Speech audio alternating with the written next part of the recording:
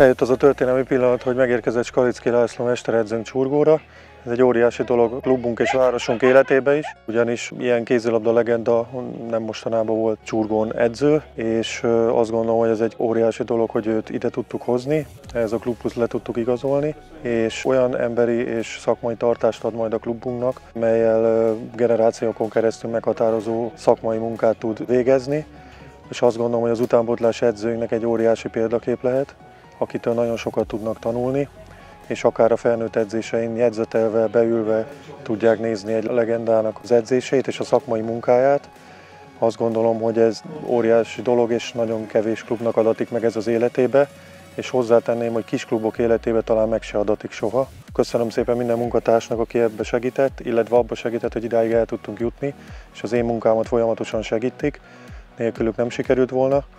Most mesteredzőnket körbevittük a városba, bemutattuk neki a sportlétesítményeket, ahol a lányaink majd megkezdhetik az alapozást.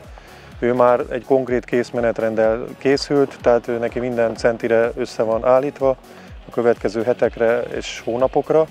A helyszíneket azért gondoltam, hogy bemutatom, hogy így helyszínt is tud társítani majd a tervezett menetrendjéhez, és elismerően nyilatkozott a csurgói infrastruktúrális körülményekről, ő is azt mondta, amit ugye régóta mi is mondtunk az országot járva, hogy nagyon kevés helyen vannak olyan körülmények, sportkörülmények, mint Csurgón, és azért nagyon hálásak vagyunk, és azt kívánom minden játékosnak és edzőnknek is, hogy becsüljék ezt meg, hiszen nagyobb városokban sincsenek ilyen létesítmények, illetve ilyen állapotú modern körülmények. Nagy örömünkre szolgál, és reméljük, hogy ez sokáig így marad ez az állapot, hogy, hogy ilyen szintű szakmai munka lehet itt Csurgón.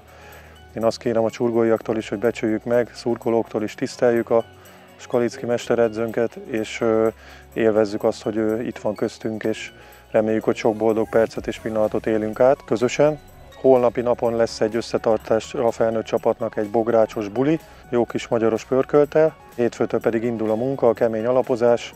Napi két edzéssel készülünk, egészen szeptemberig. Hét közepén lesz majd egy kis rekreációs, uszodai rész. Hála Istennek egy modern szép uszoda van a sportcsarnokunk mellett, úgyhogy kiváló körülmények vannak ehhez is.